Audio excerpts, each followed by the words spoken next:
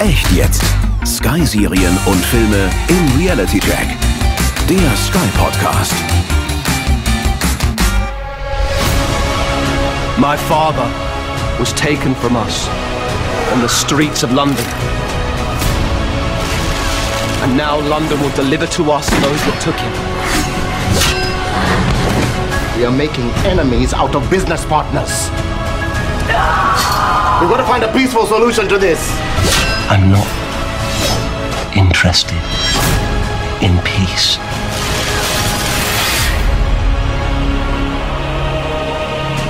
What kind of trouble are you in? If you knew what I was doing, you'd be proud of me. ähm, das war immer, ich will kein Opfer sein. Man will lieber Täter sein. Man will bei den Seiten, die machen. Und wenn die halt draufschlagen, schlage ich mit drauf. Hallo und herzlich willkommen zu dem Podcast Echt jetzt Sky Serien und Filme im Reality Check. Mein Name ist Nina Liebold und wir sprechen heute über die erste Staffel der Serie Gangs of London, die in Großbritannien übrigens vom Start weg so erfolgreich war, dass sie gleich um eine zweite Staffel verlängert wurde. Das neue Sky Original taucht tief in die düstere und brutale Unterwelt der britischen Metropole ein und ist mit Sicherheit nichts für schwache Nerven.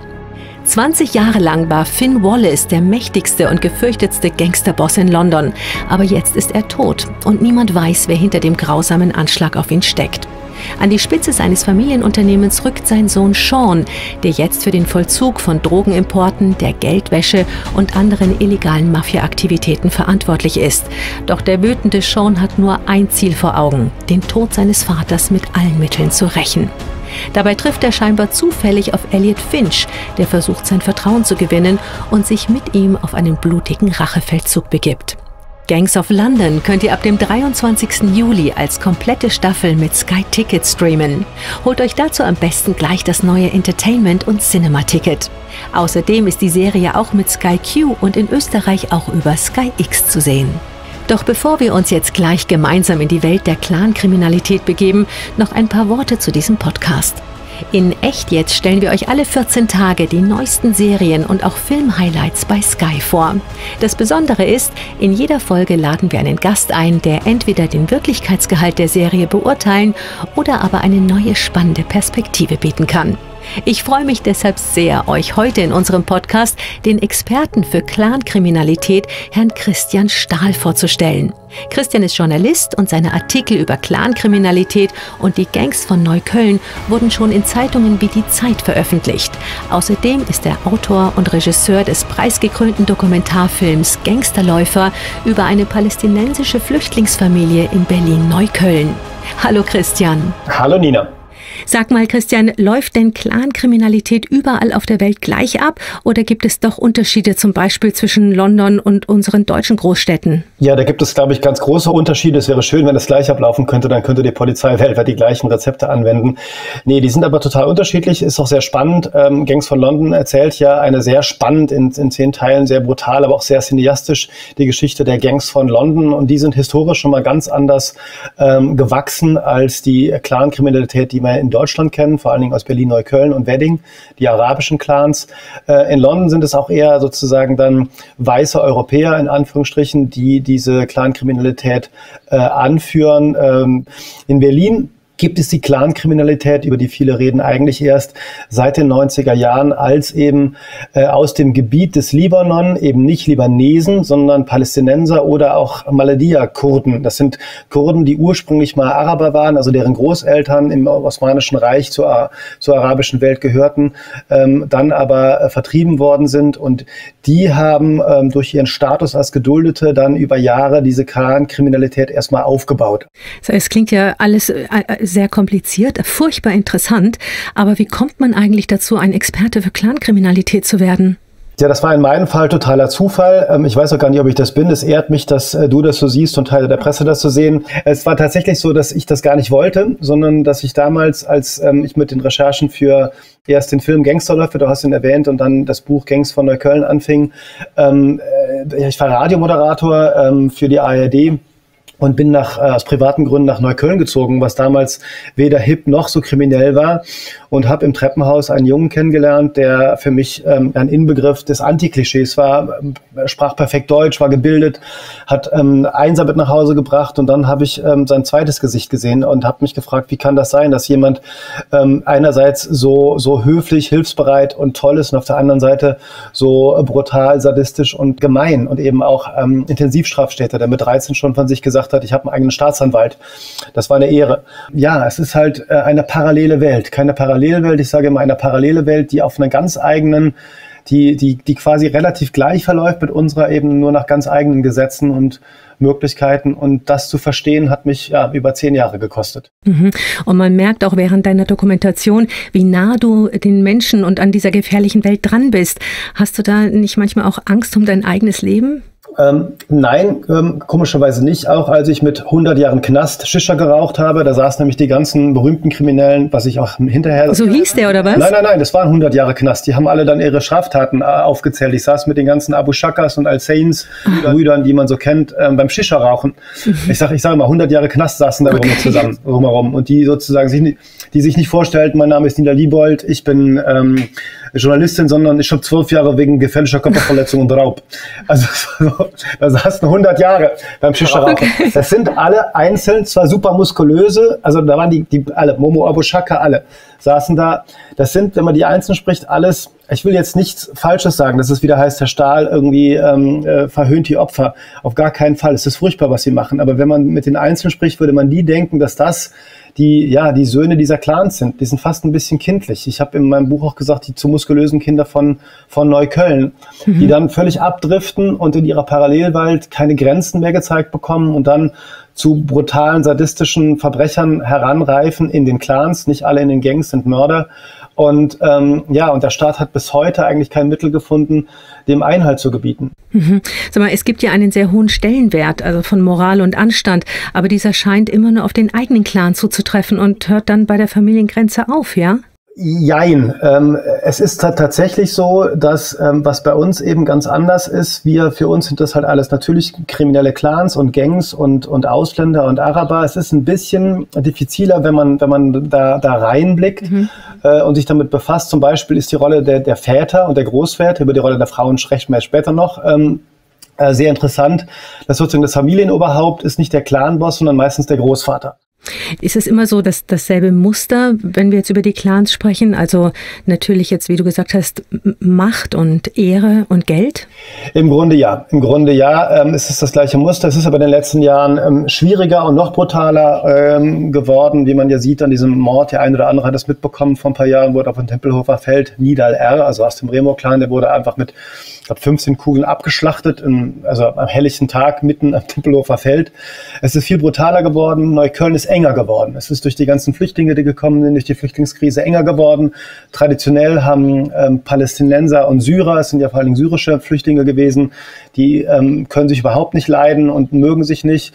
Es ist noch weniger Raum, es gibt noch weniger Arbeitsplätze, vor allen Dingen für unbezahlte Arbeit, was man am Anfang ja ist, wird es schwierig. Ähm, äh, es gibt nach wie vor die Kettenduldung in Deutschland, also viele Clans, die hängen, hängt damit zusammen, dass sie über Jahre geduldet sind und im Grunde keine Arbeit haben und dann ist man natürlich als 14-, 15-jähriger Junge der Mädchen beeindrucken will mit Geld und Auto und so weiter, natürlich, wenn man dann Geld verdienen kann auf illegale Weise, wenn ich es auf legale Weise verboten bekomme, ohne das zu rechtfertigen, sind da viele anfällig für. Mhm.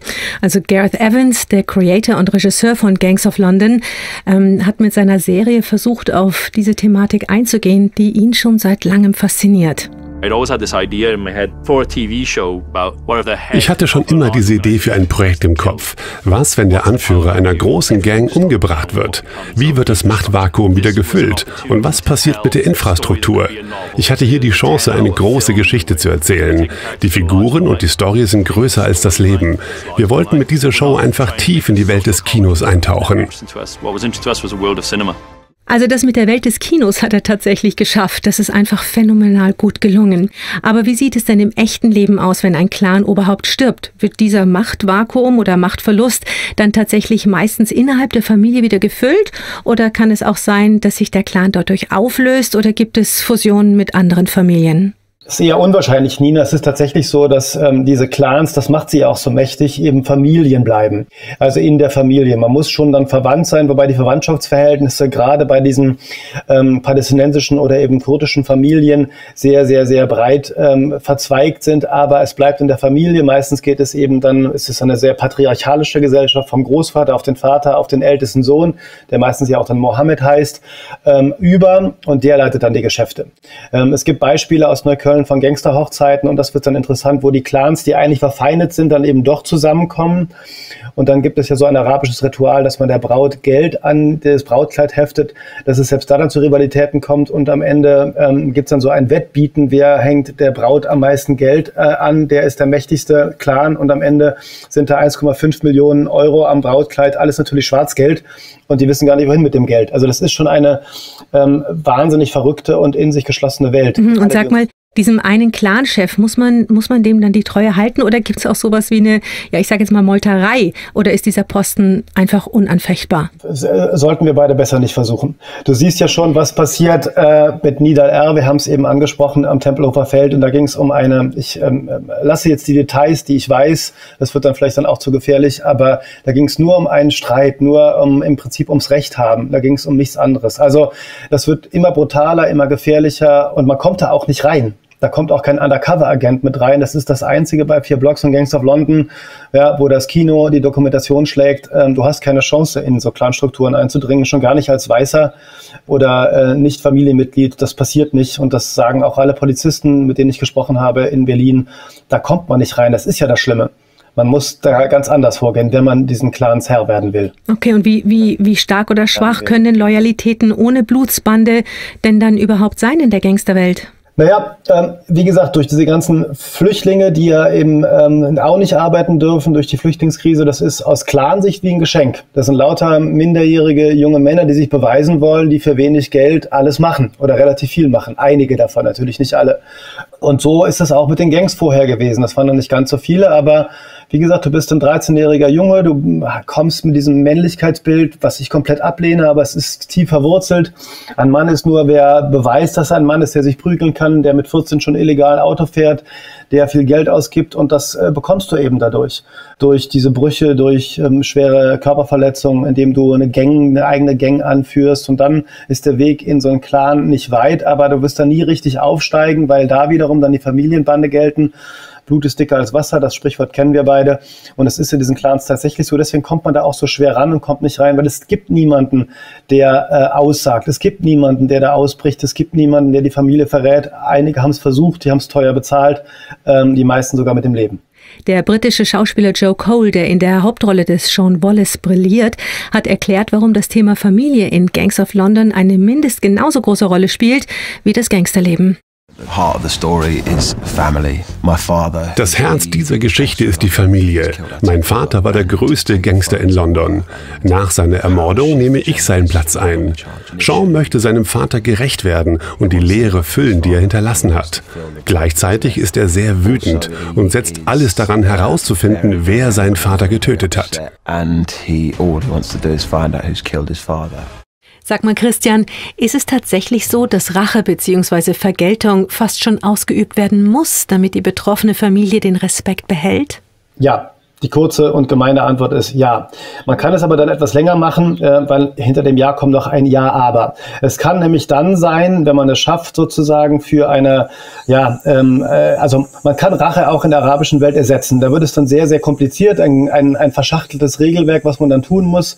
Aber äh, es reicht dann ähm, ohne Blutlache, wenn zwei gegeneinander kämpfen oder man sozusagen in die Knie geht vor der anderen Familie. Den Hammel habe ich angesprochen. Mit einem geschlachteten Hammel sagt man sozusagen dann, wir wir bitten um Entschuldigung bei der anderen Familie. Also es kann verhindert werden, ein sehr verzweigtes System von Regeln und ja, ähm, Sachen, die wahrscheinlich auch noch aus der palästinensischen oder kurdischen ähm, Tradition stammen. Aber ähm, die meisten haben dann auch Lust auf Rache und finden das total cool und ähm, üben sie dann auch aus. Mhm. Du, in der zweiten Folge sieht man bei unseren Gangs of London, wie schon als Kind gezwungen wird, jemand, der hilflos ist, zu erschießen. Wird Kindern in diesen Kreisen von klein auf schon beigebracht, einfach gar kein Mitleid zu haben? Gute Frage, schwierige Frage. Ähm, ich kann es nicht wirklich seriös beantworten. Was sicher ist, dass Kindern schon relativ früh beigebracht wird, ähm, ja, brutal zu sein, sich zu wehren. Und das hat auch historische Hintergründe. Die Familien kommen aus dem Bürgerkrieg. Wer sich da nicht gewehrt hat, war tot. Und das bringen sie mit. Also arabische Sozialarbeiter in den, in den Gefängnissen. Ich kenne inzwischen alle Gefängnisse in Berlin in- und auswendig, nicht weil ich einsaß, sondern so viele Interviews geführt habe sagen selber, die haben den Krieg im Blut mitgebracht. Das ist sehr hart formuliert, das waren arabische Sozialarbeiter. Ich würde sagen, sie haben es in der Seele mitgebracht und dadurch versuchen sie ihre Kinder abzuhärten, schon sehr früh. Mhm. Der düstere Ton der Serie wird ja schon am Anfang der ersten Episode vorgegeben, als bereits, ich glaube, in den ersten drei Minuten ein Mann in Flammen aufgeht. Mit so viel Brutalität wird man als normaler Mensch ja gar nicht konfrontiert. Hast du jetzt mal ganz ehrlich bei der Serie auch manchmal einfach die Augen zugemacht? Ähm, nee, habe ich nicht. Ich sollte sie ja gucken und habe sie auch sehr gerne gesehen. Äh, aber ähm, ich weiß genau, was du meinst. Es ist psychisch, es ist sehr brutal, es geht an die Grenze, es ist sehr cineastisch gemacht. Genau dadurch äh, wird es nochmal brutaler, weil es halt schon fast so eine ästhetisierte Gewalt ähm, ist, die ganz bewusst eingesetzt wird, dieser düstere Ton ähm, ja, das quasi London wird zum Gotham der Clankriminalität. Das ist brutal. Ich habe einige Brutalität mitbekommen, allerdings war ich auch persönlich in den Flüchtlingslagern im Libanon.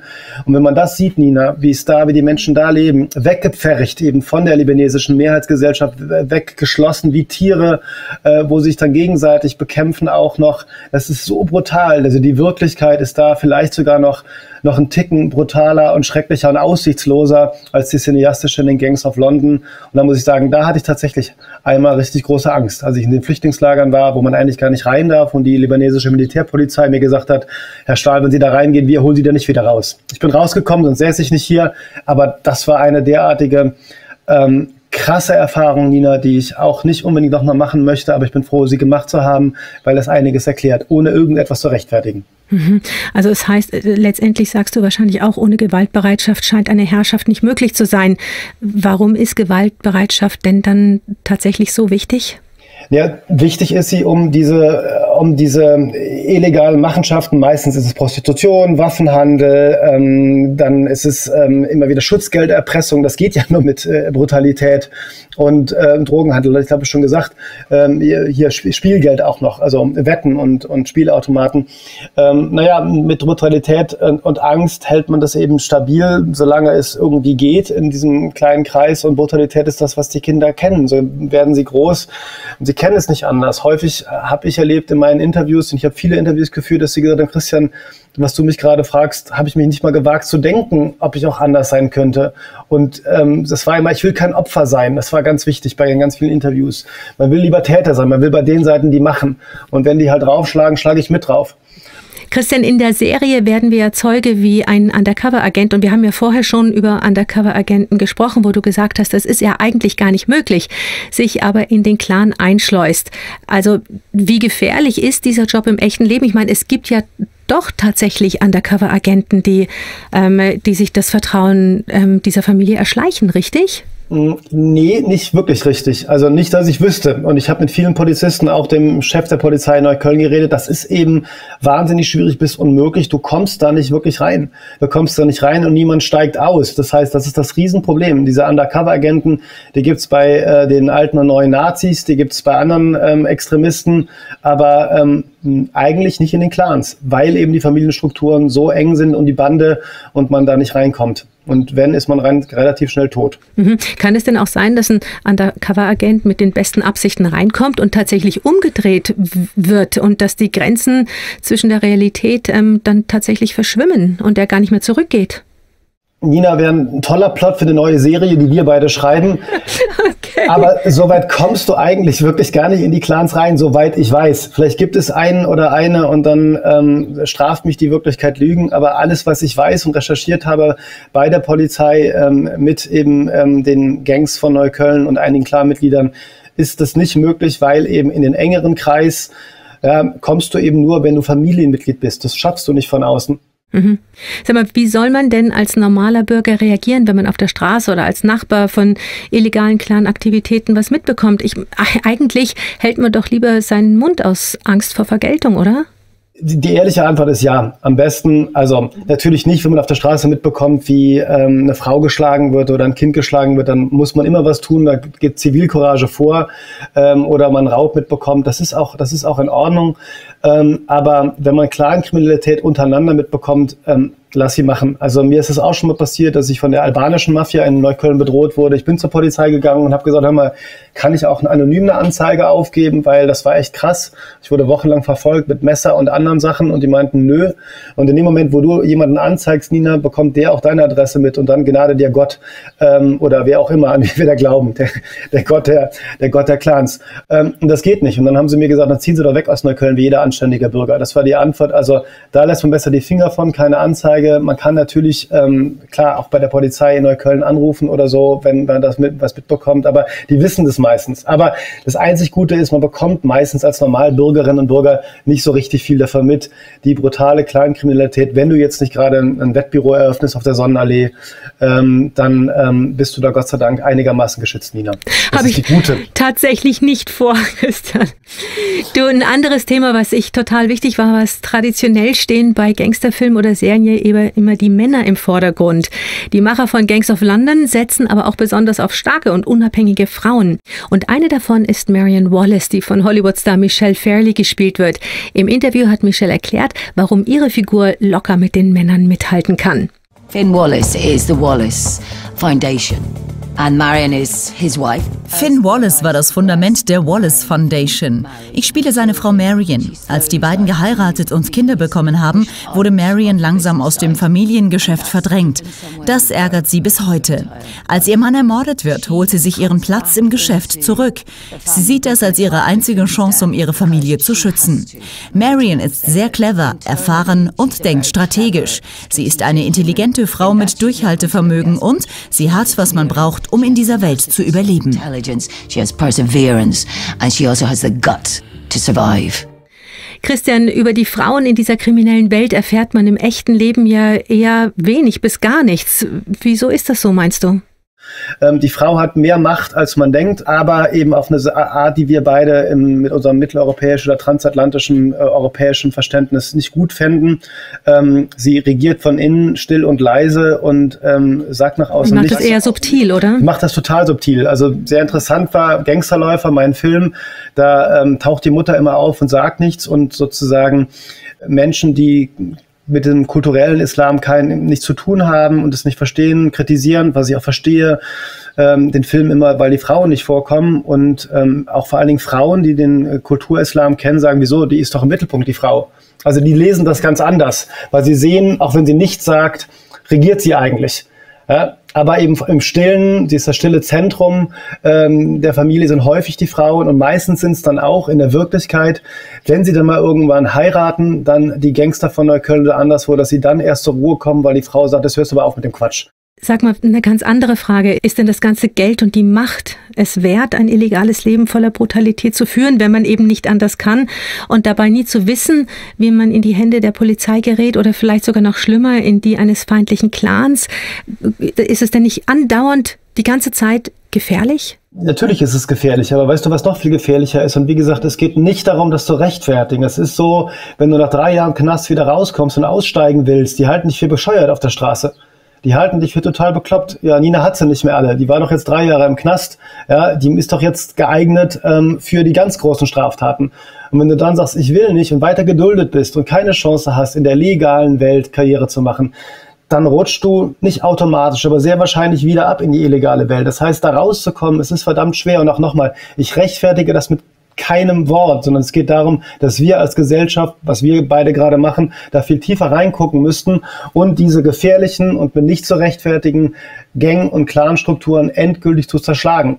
Weil es ja auch wieder die nächste Generation ähm, äh, verlorener Kinder heranzieht, die dann wieder keine Chance haben, rauszukommen. Und ich will das nicht. Ich will das nicht in Neukölln, ich will das nicht in London, ich will das nirgendwo, dass einer von uns Angst haben muss, auf die Straße zu gehen. Das ist der Fall. In Berlin, Neukölln auf jeden Fall. Und das zu ändern, ist aber ein langer Weg. Was glaubst du denn, ähm, warum ist es für uns normale Menschen so spannend, eine zum Großteil grausame und brutale Gangsterserie wie Gangs of London anzuschauen? Wie erklärst du dir da den großen Erfolg der Serie? Ja, du kennst ja vielleicht den Spruch ähm, von Friedrich Nietzsche, Etze Homo, ähm, so ist er der Mensch. Und ich habe das mal weitergemacht, Etze Homo Criminalis. Also so ist der Mensch, er ist kriminell. Wenn nicht in Wirklichkeit, dann doch zumindest heimlich in Gedanken. Und wenn wir ganz ehrlich sind, Nina, hast du nicht auch schon mal ganz klammheimlich davon geträumt, irgendwas richtig Verbotenes zu tun, irgendwie sowas ja, zu tun? ja, oder auch Gangster-Bossbraut. Ja, irgendwas richtig Fieses zu tun, sowas, was, was, wo alle Angst von dir haben. Und ich glaube, das ist das, warum wir das so gerne gucken. Und wiederum, das Verrückte ist, Nina, wo wir gerade darüber reden, ein kurzer Satz. Die meisten der Jungs sind große Kinofans die lieben diese Serien. Die sprechen teilweise Sätze nach, die sie aus ähm, ja, Kriminal Krimiserien oder Gangsterserien oder Mafia-Serien kennen. Also die leben quasi das vor, was Hollywood quasi cineastisch vorgemacht hat, ähm, spielen die Kinder von Neukölln, die zu muskulosen Kinder, die spielen Hollywood nach, weil sie es so geil finden, weil sie auch so sein wollen wie Al Capone oder äh, Joe Cole oder wer auch immer das dann sein wird. Und das spielen sie nach. Und, das, und dann wird's richtig gefährlich, wenn, wenn Hollywood auf die Straßen von Neukölln übertragen wird. Ja, genau. Al Capone, das ist ja mal ein Vorbild. Christian, vielen Dank für deine Mühe und deine Zeit. Sehr gerne, Nina. Und nicht kriminell werden, bleib auf der richtigen Seite. Da besteht bei mir keine Gefahr. Autor und Regisseur des preisgekrönten Dokumentarfilms Gangsterläufer Christian Stahl. Ich hoffe, wir haben euch Lust gemacht, die erste Staffel von Gangs of London anzuschauen und auf ihren Realitätsgehalt zu überprüfen. Ihr könnt sie ab dem 23. Juli als komplette Staffel bei Sky sehen. Entweder mit Sky Q, in Österreich auch mit Sky X oder ganz easy mit Sky Ticket. Und mein ganz persönlicher Tipp, holt euch dazu am besten gleich das brandneue Entertainment und Cinema Ticket. Damit streamt ihr hochkarätige Sky Originals und exklusive HBO-Serien und seht Kinoblockbuster als erste, bereits wenige Monate nach Kinostart. Die Auswahl ist riesig. Mit dem neuen Sky Ticket seht ihr exklusive neue Serien wie Perry Mason, Penny Dreadful, City of Angels und Rick und Morty, aber auch Highlights wie Westworld und Game of Thrones und brandaktuelle Blockbuster wie Joker, der Fall Colini und Zombieland doppelt hält besser. Jetzt aber vielen Dank an alle, die uns zugehört haben und die gemeinsam mit uns einen Blick nicht nur hinter die Kulissen geworfen haben, sondern auch einen Reality-Check in die Gegenwart gemacht haben.